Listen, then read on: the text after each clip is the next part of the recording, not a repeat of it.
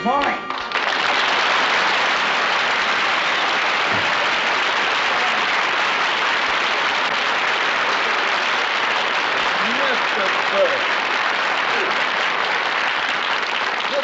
Sit down, Mr. Burns. Now then, what can I do for you? I stopped by to pick up my dividend statement. Ah, yes. Well, my secretary has your files. She'll be right back. Fine. Uh, do you do you smoke cigars, Mr. Mooney? Yes, yes, I do, yes. May I have one?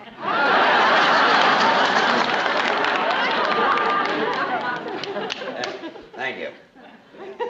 Jack Benny always pulls that on me. Very fun. Well, you know how that is.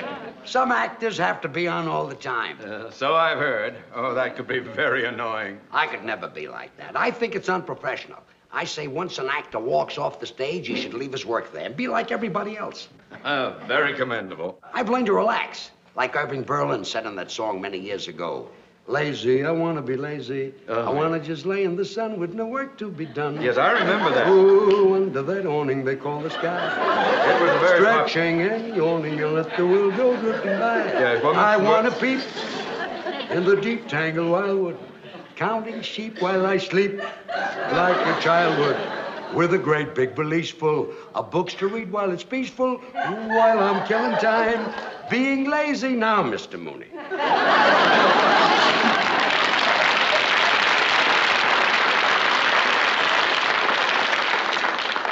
Maybe I can find your file, Mr. Burns. It should be here under the B's. All right, Martin, Miller, Munson, Murph. under the bees? Maybe we'd better wait for my secretary. I uh, hope you don't mind waiting. Think nothing of it. Now that I'm not doing an act anymore, all I've got is time on my hands, you and me alone. Nothing but love in view. And if I fall, once and for all, I'll see my dreams come true. Moments to spare for someone you Oh, care for. excuse me, uh, Mr. Burns. Oh, yeah, well, yes. Oh, I was. Yeah, uh, what? what? Yeah, oh, yeah. Uh, uh, but uh, we could. Time uh, on my hands, you and my. ah, Mr. Mooney, don't be embarrassed. Nobody ever lets me finish a song. Oh, I- uh, would would you care for another cigar? Oh, no, no, go right on with your work. I'll just sit here and look at the stock report. Oh, yes. My, I envy you, Mr. Burns. How's that? Well, being able to retire in the prime of your life, just sit back and to collect dividends. Well, that, that might be true about some people, but not about me. Oh? It kills me not to be doing an act. Well, why did you stop working? Well, I've always liked to work with women. I had a great act going with Carol Channing, and then she left me. She went into Hello Dolly, and then I did an act with Dorothy Provine, and, and, and she went into television, and Connie Stevens went into pictures. Well, why don't you find some other girl to work with you? Mr. Mooney, comedians are not that easy to find. Gotta find a girl with a kind of a pixie personality, eccentric, way out, a real kook. A girl like that is very, very hard to find.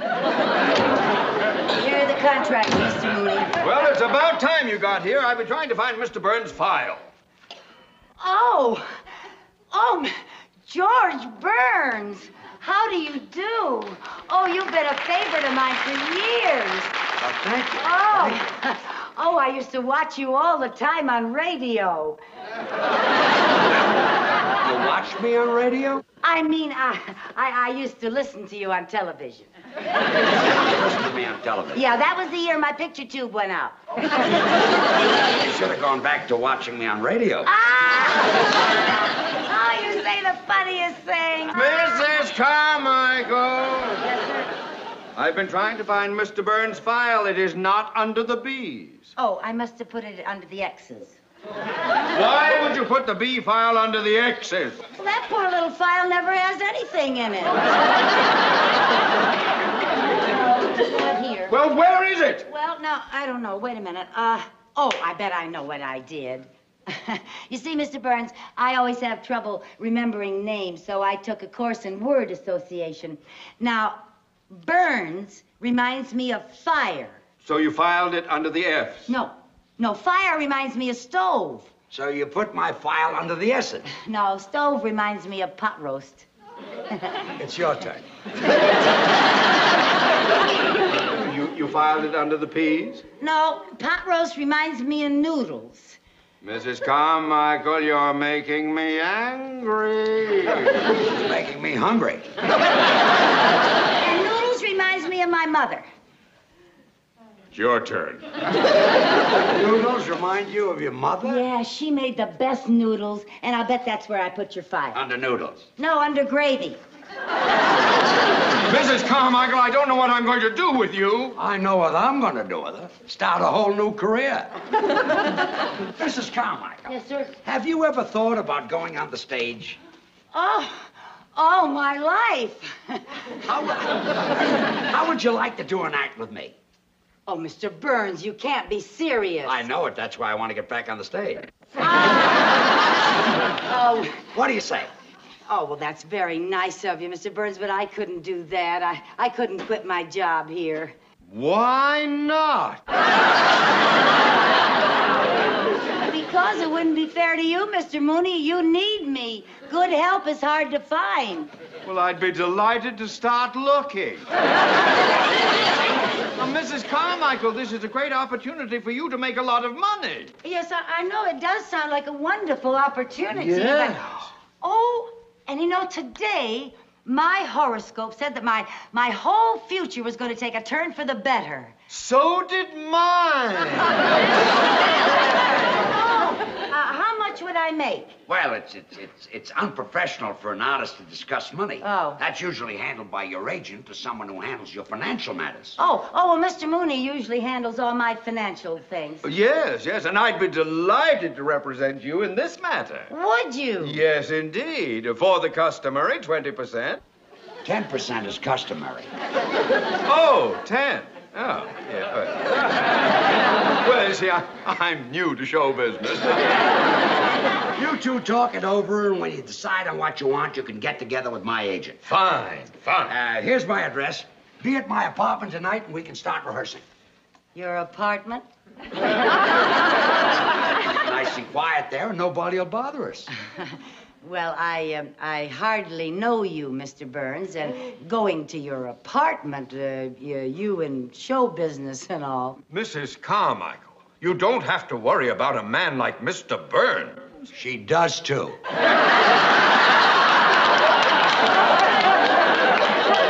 Well, I didn't mean that you aren't a gentleman, Mr. Burns. I just meant that. Well, I meant you're a man, and if I go to your apartment, people might talk. What people? There won't be any people there. And when I talk, nobody believes it anymore. See you tonight. Okay, Goodbye, Mr. Mrs. Burns. Carmichael. Oh, thank you very Goodbye. Mr. Mooney.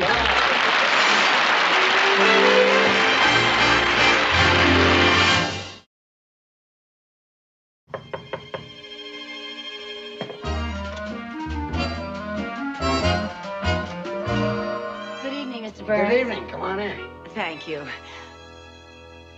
Oh, what a lovely apartment. Well, I'm glad you like it. Oh, it's so beautiful. Are you ready to try a little rehearsal? Oh, yes, I can hardly wait to find out what I do on the stage. First, you've got to learn how to get on the stage. oh, yes, sir. See, Yes, making making an entrance is very important. Oh. Now, uh-huh. let's see. Where are we? That'll be the wings right there. Oh, uh-huh. Now, uh, this will be center stage. Yes, sir. Yeah. Is that the audience out there? That's that's the audience. Okay. Now we're introduced over the house mic. Oh, are we? Ladies and gentlemen, here they are, George Burns and Lucy Carmichael. now the orchestra plays our entrance music. Oh, what, what is our entrance music? Some of these days. Oh, Now let's make our entrance. Let's Oh, go into from over here. Now you walk out just like I do. yes, sir. Okay. Yes, sir. Now here they are, ladies and gentlemen, George Burns and Lucy Carmichael. Now there's music, and I'm walking out, and I'm bowing, and I get to the center of the stage, and when I get to the center of the stage, Come on, tell us. Sorry, Mr. Burns. honey, you you walked out too fast. Oh, well, I guess I've waited so long to go on stage that I, I was kind of in a hurry. You uh, you belong over here, Oh, over here. over there. Oh. That's it. Now we'll start. Yes. Well, Lucy, say hello. Hello. Not to me, to the audience. Oh. Hello. Don't look down at the audience. The people in the back can't see you. Oh. Uh, hello. Now, I'll tell you a little trick. Especially when you're new and you might be self-conscious. You look out at the audience, but you don't see them. You sort of look past them. Oh. Well, now, well, Lucy, say hello. Hello. That was very good. Thank you. Do that again. Hello? What's, um, what's that? What is that business? Oh, a little curtsy. Yeah, I saw Ginger Rogers do that on the Late Late Show last night. yeah, I, I, I saw her on the show. She's my favorite, my very favorite. But she's very good. Yeah, Fred Astaire was in the picture too. It was it was a wonderful picture. You know, at the beginning of it, Fred was an ambitious young dancer playing in a show in Muncie, Indiana. Muncie. You ever been in Muncie? I was closed there. Oh.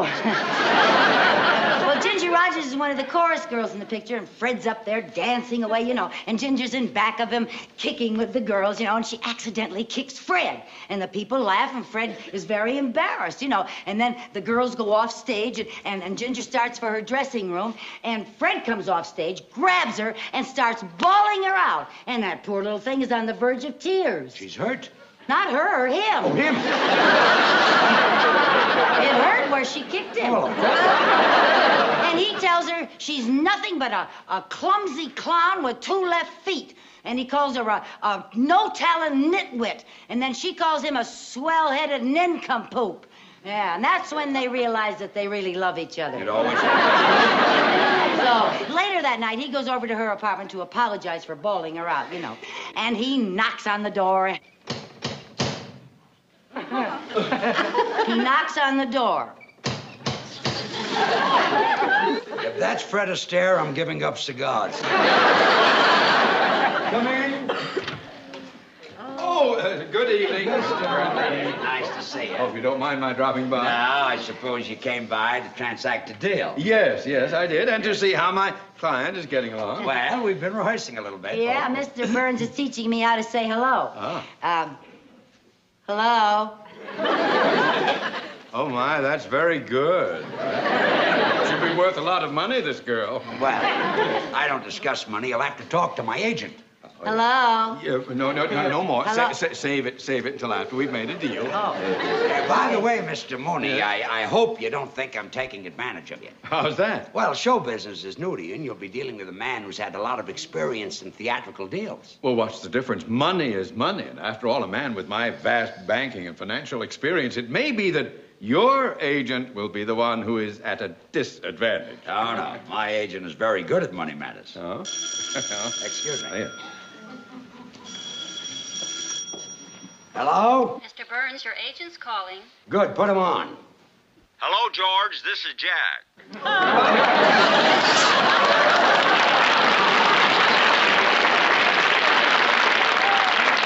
Just in time. Mrs. Carmichael's agent is here right now. Fine. Let me talk to him. Uh, good. Here he is. His name is Mooney. Mr. Mooney. Here, Mr. Mooney, my agent. Yeah. What's his name? Benny. Jack Benny. Jack Benny is your agent?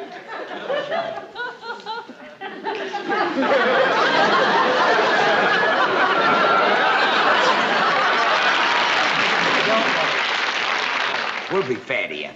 We will not. I'll handle this. You just get us booked someplace.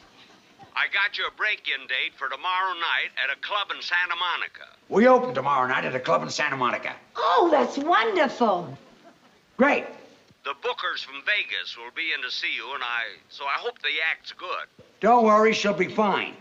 I mean you.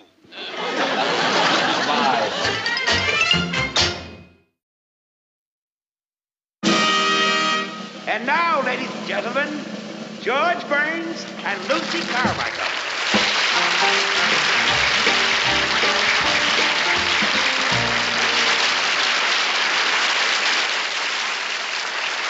Lucy, say hello. Hello. Well, now that you're on the stage, what are you going to do? Oh, well, when I was in the beauty parlor this afternoon, I heard a wonderful joke. Would you like to hear it? It had everybody dying laughing. We'd all like to hear. it. Oh, well, this one man looked up and said to the other man, Don't ask me, I just got here myself. Is that, is that, is that the joke? Well, there was some stuff ahead of it that I didn't hear. That's the line that they were dying laughing at. I, um, I wouldn't tell that if I were you. Too old? Oh, yes, it's been kicked. Oh. Let's, um, let's talk about your brother. Oh, which brother do you want to talk about? The one that's married or the one that's in love? Oh, The tall one. Oh, oh, yeah, yeah. Well, that's my brother Harry. He's with the FBI. Your brother's with the FBI? Yeah, they picked him up in Kansas City. So the FBI picked him up. Well, they had to. He couldn't pick himself up. Loaded again. Yeah. Poor Harry. Hasn't your family ever tried to do something about his drinking? Well, we sent him to a psychiatrist, and the psychiatrist worked and worked to get to the bottom of Harry's drinking. And finally, he found out Harry's problem. What was it? Harry likes to drink. Well, we all have our reasons. I think Harry drinks to forget Forget what? that he's a kleptomaniac. Who's your clever? Harry was always going into stores and taking things, so you know what my mother did? what? Well, she took some adhesive and she taped his hand shut all but this one finger. Taped his hand shut, all but that. Why? Well, so he could play marbles with my other brother. You can't play marbles with one finger. Well, Mother did that to even up the game. You see, Harry didn't have all of his fingers, and my other brother brother, didn't, have, all of his marbles.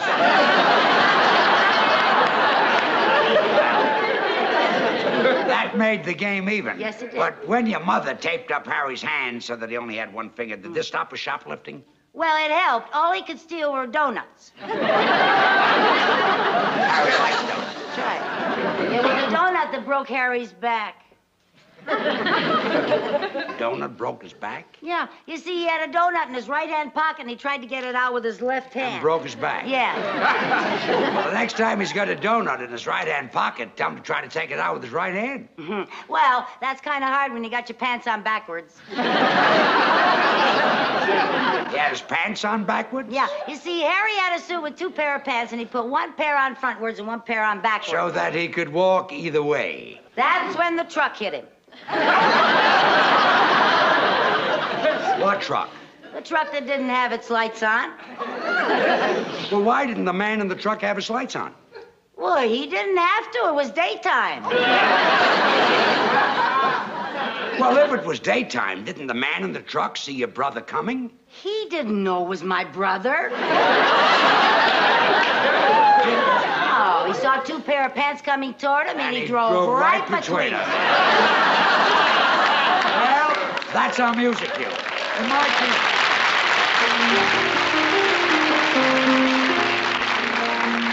Two sweethearts in a country town, the neighbors say, lived happily the whole day long. Until one day told him he must go away, she wanted, then what could go wrong?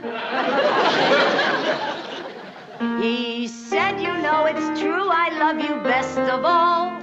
And yet it's best that we should part.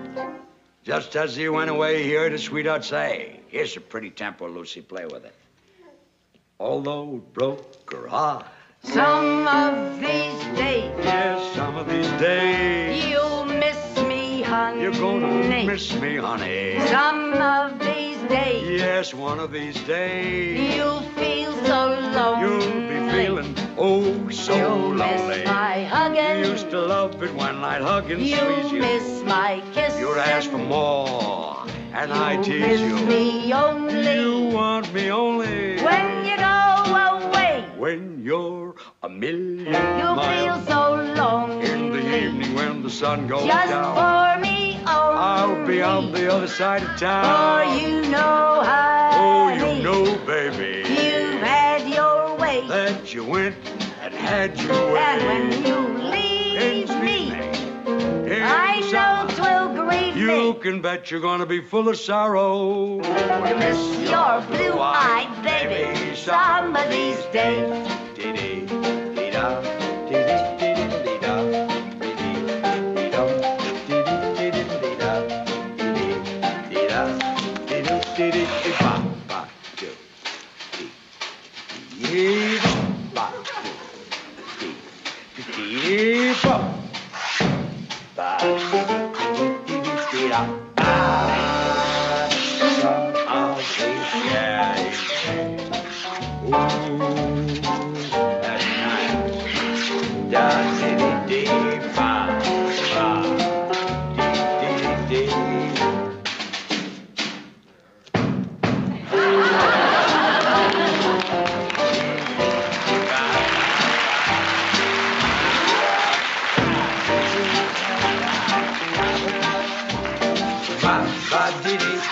ba dee dee.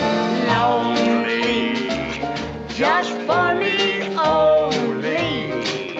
Cause you know, honey, that you had your way. That you've had your way. And when you say goodbye, Who wipe that tear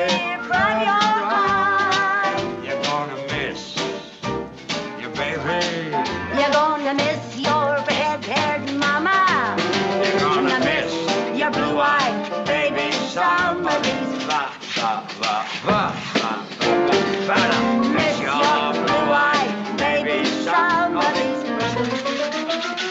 stop, stop, stop, stop.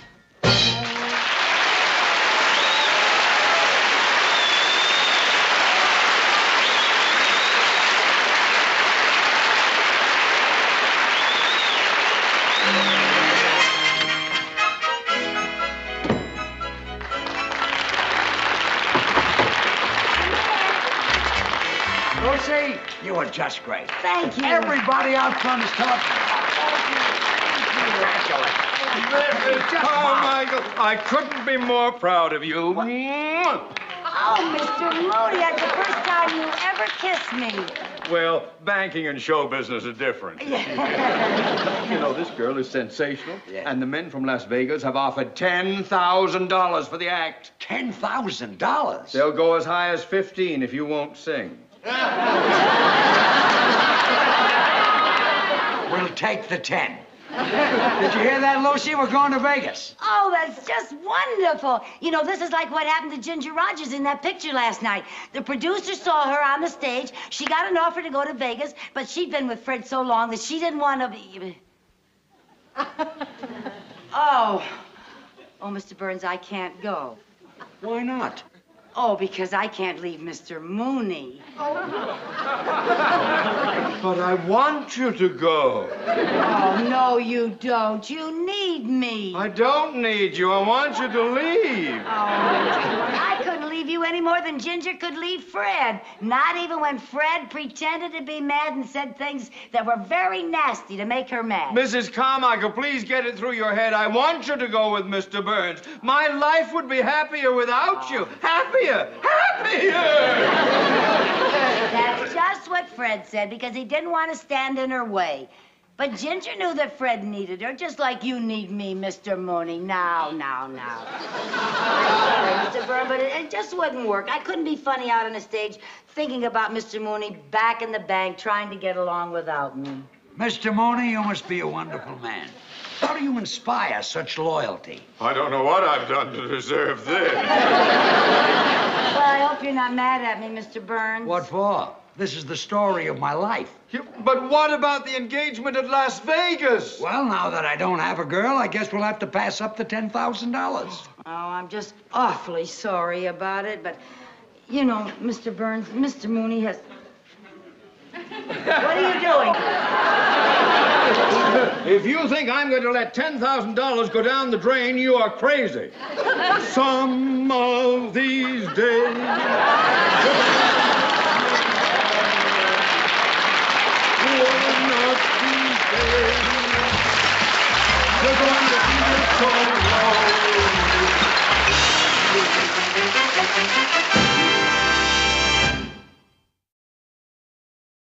The Lucy Show.